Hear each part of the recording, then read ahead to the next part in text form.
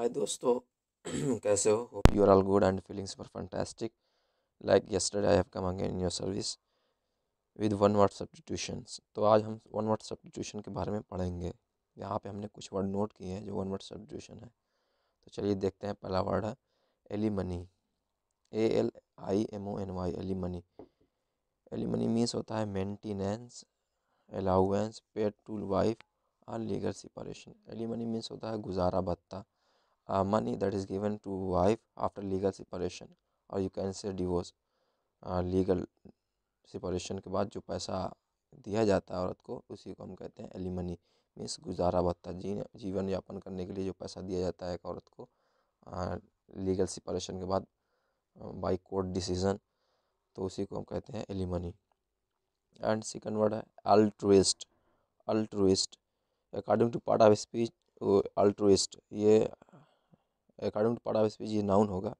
Altruist means होता है philanthropist one who loves others one who loves others one who always one who loves mankind one who is socialist one who always think about the welfare of others and do good for others is called altruist मतलब परोपकारी जो आप दूसरों के बारे में हमेशा भला सोचे और उसका भला चाहे उसी को कहते हैं अल्ट्रुइस्ट जो दूसरों के बारे में हमेशा भला सोचे उनका बुरा ना चाहे उसी को कहते हैं अल्ट्रुइस्ट और तीसरा देखते हैं तीस, तीसरा है amateur A M A T E U R amateur means होता है non professional means one who pursues a study और sports as a pastime means means not interestedly as a perfidiously and pastime जो कोई काम करता है उसी को अमेच्योर कहते हैं।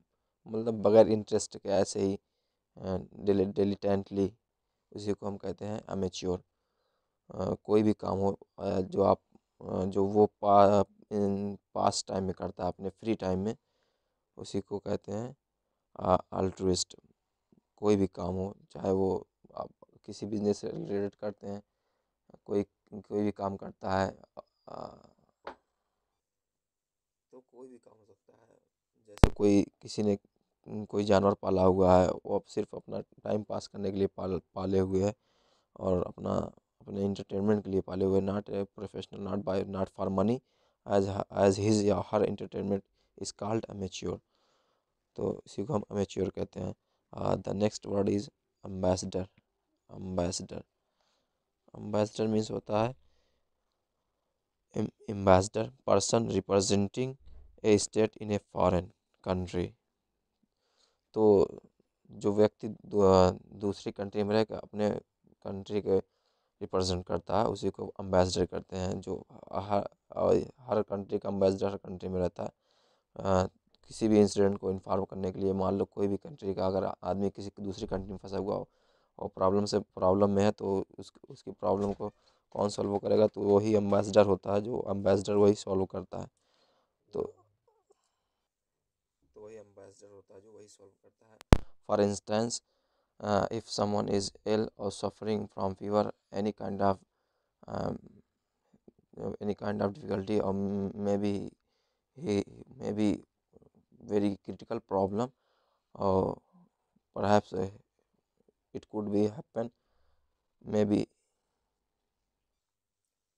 में भी ही डाइड तो उसकी कंट्री को इन्फॉर्म कौन करेगा? तो यही एम्बेसडर जो होते हैं, वही उसकी कंट्री को इन्फॉर्म करते हैं कि the person was ill suffering from any kind of disease has been dead so his his village or his country or his house known by this this